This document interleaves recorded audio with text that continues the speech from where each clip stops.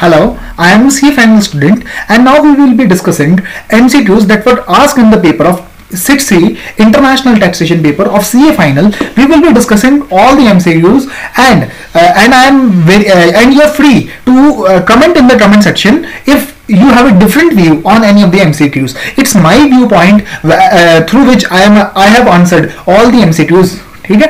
तो now we will discuss in with MCQ number first in the case of Banerjee company limited the AO made a reference to the TPO subsequently the AO pass the draft assessment order I I must tell you when is the when is the draft assessment order pass draft assessment order will be pass only when only when the when the appeal will be preferred to the DRP है ना अब DRP कहाँ पे referred है? Under section 144 C of the income tax act ठीक है? 144 C of the income tax act क्या बात करता है? डीआरपी की बात करता है, ठीक है? डीआरपी के पास कौन कौन से एसएससी जा सकते हैं? First is foreign money and second one is an SSC in respect of which the adjustment has been made on account of the order of the TPO तो ये दो असेसीज है जो अपील कर सकते हैं टू द डीआरपी तो इन, ये दो असेसीज का जो मतलब in in respect of these two assessees the order can be appeal to DRP तो इनकी, इन दो असेसी के रेस्पेक्ट में ऑर्डर कहाँ पे अपील हो सकता है? टू डीआरपी तो मतलब ये दो एसएससी ऐसे हैं जिनके केस में डीआरपी के पास अपील हो सकती है। तो अब हमसे एमसीक्यू में क्या पूछा गया है? तो पहला एसएससी तो कौन सा है? जिसके जिसके रेफरेंस में मतलब टीपीओ ने ऑर्डर पास किया है ठीक है? ये तो पहला हो गया। In which of the following situation could the EO have validly pass a draft assessment order ठीक है? Has preferred safe harbour rule इसके पास इस, इसके लिए कभी भी ड्राफ्ट असेसमेंट ऑर्डर पास नहीं हो सकता। अगर आप 144 सी पढ़ते हो तो 144 सी में यहाँ पे पढ़ो the assessing officer shall forward a draft of the proposed order of the assessment मतलब जब जब डीआरपी के सामने अपील होती है तो ड्राफ्ट असेसमेंट ऑर्डर ज़रूरी होता है। और डीआरपी के पास केस कब जाता है? जब या तो वो फॉरेन का केस हो, या फिर किसी वो ऐसे एसएससी केस हो, जिसके रेफरेंस में टीपीओ ने ऑर्डर पास किया है। तो अब इसमें, अब इन चार एमसीक्यू में हमें या तो फॉरेन कंपनी मिलेगा, या फिर एक ऐसा एसएससी मिलेगा, जिसके रेफरेंस में टीपीओ ने ऑर्डर पास किया है। तो अगर आप ध्यान से देखो safe harbour rule this is wrong ठीक है? एंटर इनटू अप्पा दिस इज़ रॉन्ग ठीक है? The ELP of energy was accepted by TPO and no variations were made. ऐसा भी कुछ कॉन्सेप्ट नहीं है, ठीक है? उसमें क्या है? in whose case variation arises on account of the order of the TPO इसमें कहीं पे भी एक्सेप्टेंस की बात नहीं आती। तो right option is foreign company तो मतलब फॉरेन कंपनी के केस में आपको ड्राफ्ट असेसमेंट ऑर्डर पास करना ही करना होगा। अब अपन चलते हैं नेक्स्ट एमसीक्यू की और अब नेक्स्ट एमसीक्यू है what would be the additional income tax payable by Banerjee Company Limited for the AY 1819 in case it cannot get any excess money arising from the transfer pricing adjustment repatriated to it. ये question है 92 CE का question है मतलब secondary adjustment का question है। अब secondary adjustment में एक कॉन्सेप्ट आता है, जिसमें अगर आप एक्सेस मनी रिपैट्रिएट नहीं कर पाते तो आप एडिशनल इनकम टैक्स पेबल कर दे एडिशनल इनकम टैक्स देके आप उसके ऊपर जो इंटरेस्ट की कैलकुलेशन होती है, उससे बच सकते हो। मतलब क्या होता है 92 सी में क्या होता है, अगर आप जो ईएलपी का डिफरेंस होता है मान लो सौ रुपए ईएलपी थी, है ना? और नब्बे रुपए में आपने सेल करी तो दस रुपए आपको, आपने एक्सेस मनी उसे एज अ डीम्ड लोन माना जाता है इन 92 सी तो उसके ऊपर क्या होता है? डीम्ड इंटरेस्ट कंप्यूट होता है। इसलिए इस साल अमेंडमेंट आई थी 92 सीई सबसेक्शन ये वाला, ठीक है? 92 सीई में एक नया सबसेक्शन ऐड हुआ था। 92 सबसेक्शन 92 सीई में एक नया सबसेक्शन ऐड हुआ था, जिसमें बोला गया था कि आप एक्सेस मनी पे you can pay 22 20.9664 percentage tax it it comprises of tax at the rate of 18 percentage surcharge always at the rate of 12 percentage and cess at the rate of 4 percentage तो इससे ये जो effective tax rate I वो आई 20.9664 मतलब ये आप additional tax पे करके आप आप क्या बोलते हैं? 20.964 परसेंटेज पे कर दिए आप मतलब उस इंटरेस्ट की कंपटीशन से बच सकते हो, ठीक है? तो अब इसमें 18 19 में असेसमेंट ईयर में एडजस्टमेंट हुई थी 170 लाख की, ठीक है? 170 लाख की। अब ये एडजस्टमेंट अब आपको पता है 92 सी तभी हो सकता है जब, अब देखो upon reference to the T and adjustment to the ALP was made and this added to the income video assessment order this this adjustment was accepted by the Banerjee company अब आपको पता होगा 92 सी में सेकेंडरी एडजस्टमेंट तभी हो सकती है जब ईओ ने ऑर्डर पास किया था और असेसी ने एक्सेप्ट कर लिया था। कभी सेकेंडरी एडजस्टमेंट हो सकती है। इसमें तीन चार चीज़ें हैं कि ईओ ने ऑर्डर पास किया था असेसी ने एक्सेप्ट कर लिया था, या असेसी ने सुमोटर लिया था, या सेफ़ हार्बर रूल की वजह से हुआ था, या अपर की वजह से हुआ था। ठीक है? एपीए एडवांस प्राइसिंग एग्रीमेंट ठीक है? तो ये वाले these cases are enumerated in section 92 C तो this this case also falls with in the ambit of section 92 C ठीक है? तो the additional tax will at the rate of 20.9664 percentage will be levied on rupee 170 lakh and it comes out to 35.642 double it है ना? तो इतना tax आपको लगेगा। तो the right option is option number B option number B ये वाला option 35.642 double it मतलब 170 का 20.9664 परसेंटेज है ना? ये आपका, ये क्वेश्चन भी सॉल्व हो जाता है। अब अपन चलते हैं 1.3 ठीक है? ये बहुत ही आसान क्वेश्चन था। What would be the rate of tax applicable to क्रावी company limited ये वो कंपनी है जो एक्चुअल में है तो फॉरेन कंपनी ठीक है? है तो क्या? It is the holding company it it is in UK है ना? It is the holding company of Banerjee company limited but ये रेजिडेंट बन जाता है रेजिडेंट बन जाता है ड्यू टू द पोयम मतलब ये पोएम की वजह से भारत में रेजिडेंट बन जाता है, ठीक है? तो मतलब ये क्या है? This is a foreign company and it become resident due to the concept of POEM तो अब ये ये क्वेश्चन में पूछा गया है तो what will be the tax rate applicable to क्रॉबी company limited है ना? तो इसके लिए मैं आपको एक रेलिवेंट प्रोविज़न बनाना, पढ़ाना चाहता हूँ।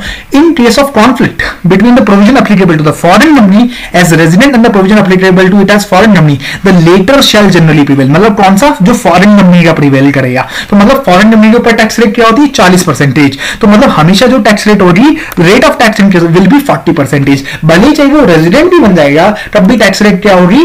40 percentage so the correct answer will be will be 40 percentage ठीक है? ये 40 परसेंटेज आंसर होगा। ये आपको कहाँ पे रेफरेंस मिल सकता है? ऑन पेज नंबर 2.226 ये मैंने उसी का एक्सट्रैक्ट लाया है यहाँ पे। Option number A is the right answer ठीक है? अब अपन चलते हैं नेक्स्ट एमसीव्यू ठीक है?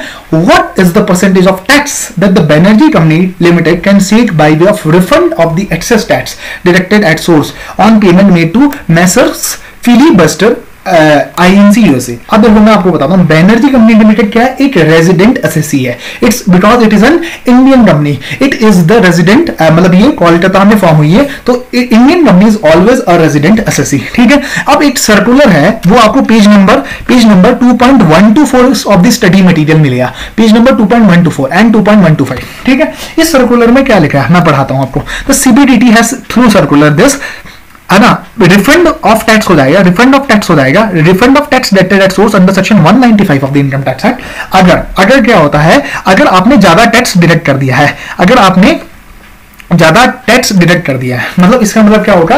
आपको रिफंड मिल जाएगा टैक्स का अगर आपने ज़्यादा टैक्स डिडक्ट कर दिया है। ठीक है? अगर आप यहाँ पे ध्यान से पढ़ो इफ़ द इफ़ ना circumstance as the income does not accrue to the non resident और if the income is accruing no tax is due और the tax is due at a later at a lesser rate तो इन cases में आपको refund मिल जाएगा अगर आप resident SSC हो और आपने टीडीएस काट लिया था उस बंदे का। ठीक है? तो इसमें इन इन केसेस में आपको रिफंड मिल जाता है। ठीक है? अब अगर ध्यान से पढ़ते हो आप ये वाला लेकिन केस ना पहले अप्लाई नहीं होता था। है ना? ये ये सारी चीज़ें इरेलीवेंट है वैसे। मतलब आपको कॉन्सेप्ट ये समझना है कि आपको रिफंड मिल जाएगा टीडीएस का। रिफंड जो आपने एक्सेस टीडीएस काटा है, उसका रिफंड मिल जाएगा। ठीक है? ये कहानी जो नीचे है ना, ये मैं बताता हूँ क्या है। ये सिंपल शब्द में बताता हूँ। ये क्या था? पहले ये प्रोविज़न नहीं था इनकम टैक्स में। अगर आप डी के हिसाब से टैक्स टीडीएस काट लेते हैं ठीक है? मान लो डी में टैक्स रेट है बीस परसेंटेज और इनकम टैक्स में इतनी परसेंटेज है दस परसेंटेज तो अगर आपने बीस परसेंटेज से टीडीएस काट लिया क्योंकि हम हमारा वैसे नॉर्म वैसे टैक्स कितना लगना है? टेन परसेंटेज क्यों क्योंकि इनकम टैक्स का section ninety subsection two of the income tax act बोलता है कि टैक्स उसी रेट पे कटेगा जो whichever is more beneficial ठीक है? तो मतलब वैसे तो 10 पे रखना था, लेकिन गलती से उसने 20 पे काट लिया। तो पहले ये ये वाला जो सर्कुलर था ना, वो वाली सिचुएशन कवर नहीं करता था, जिसमें डीटी डबल में ज़्यादा रेट प्रिस्क्राइब है और इनकम टैक्स में कम रेट है, और आपने डीटी डबल के हिसाब से काट लिया है। तो मतलब ऐसे तो रिफंड बनता है दस परसेंटेज का तो पहले ये सर्कुलर ये वाली चीज़ नहीं कवर करता था, लेकिन अब फिर बाद में अमेंडमेंट लाई इन्होंने दो में, ठीक है? दो में, है ना? नहीं, दो में लाई शायद अमेंडमेंट और इन्होंने सेक्शन को अमेंड कर दिया, और इन केसेस में भी रिफंड मिलने लग गया।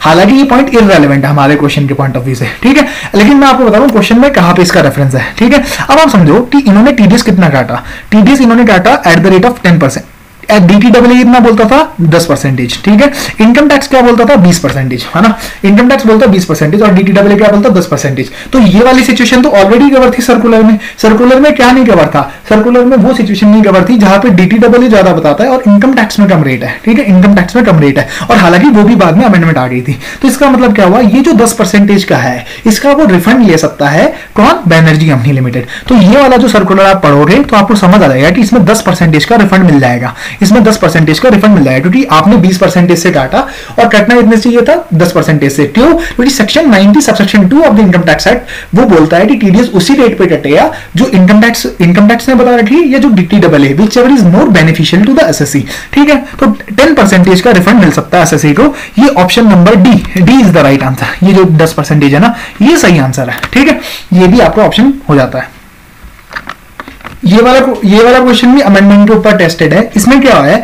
इसमें मिस्टर भारत विनायक, जिसकी S T T paid short term capital gain है 220 लाख 220 लाख, है ना? अब आपने पढ़ा होगा एक इंडिविजुअल कि अगर इनकम एक पचास से एक एक करोड़ के बीच में है तो 10 परसेंटेज पंद्रह परसेंटेज एक मिनट को है ना? अगर आपकी इंडिविजुअल की इनकम जो होती है, अगर वो अगर किसी इंडिविजुअल की इनकम 50 लाख से एक करोड़ के बीच में है तो कितने परसेंट सरचार्ज लगता है? 10 परसेंटेज अगर एक करोड़ से दो करोड़ के बीच में है तो कितने परसेंट सरचार्ज लगता है पंद्रह परसेंटेज और अगर एक दो करोड़ से, है ना, एक पचास से एक एक से दो, और दो से पाँच के बीच में है तो सरचार्ज लगता है पच्चीस परसेंटेज और अगर पाँच करोड़ से भी ऊपर है तो सरचार्ज लगता है at the rate of thirty seven percentage है ना? सरचार्ज सरचार्ज की रेट लेकिन आपने पढ़ा होगा under section triple one A surcharge can not be levied at a rate higher than the higher than the 15 percentage मतलब भले ही दो करोड़ से ज़्यादा ये इनकम है, लेकिन तब भी सरचार्ज मैक्सिमम कितना लग सकता है?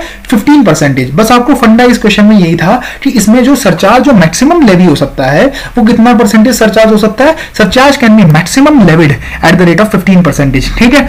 Surcharge can be levied maximum at the rate of fifteen percentage फिर आपको ट्रिपल वन ए का एक कॉन्सेप्ट ऐड करना था. ट्रिपल वन ए ठीक है? क्योंकि ये एस है शॉर्ट टर्म कैपिटल गेन है और एस पेड है. तो इसका मतलब ट्रिपल वन ए में ये वाला केस फॉल हो रहा है, ठीक है? ट्रिपल वन ए में ये वाला केस फॉल हो रहा है। तो आपने ये वाला, ये जो अमेंडमेंट मैंने ऑलरेडी बोल चुका हूँ कि enhance surcharge of 25 percent and 37 exceed rupees this will not apply has been withdrawn on the tax payable at a special rate under section triple one A तो मतलब उसके ऊपर ये वाला सरचार्ज अप्लाई नहीं होगा। मतलब इस वाले इनकम के ऊपर जो सरचार्ज लगेगा, वो मैक्सिमम कितना लगेगा? At the rate of fifty fifteen percentage ठीक है? तो अब दो सौ बीस लाख के ऊपर, अब आपको एक और कॉन्सेप्ट याद करना पड़ेगा कि नॉन रेजिडेंट असेसी को नॉन रेजिडेंट असेसी को। ठीक है नॉन रेजिडेंट असेसी को अगर अनएग्जॉस्टेड बेसिक एग्जामेशन लिमिट है, वो उसका बेनिफिट नहीं मिलता अगर वो ट्रिपल वन ए में होता है तो। ट्रिपल वन ए में मतलब 220 के ऊपर सीधा 15 परसेंट से टैक्स लेवी होगा। मतलब यहाँ पे अगर आप देखो 220 के ऊपर 220 के ऊपर सीधा 15 परसेंटेज से आपका अगर टैक्स लेवी होता है तो वो आता है 33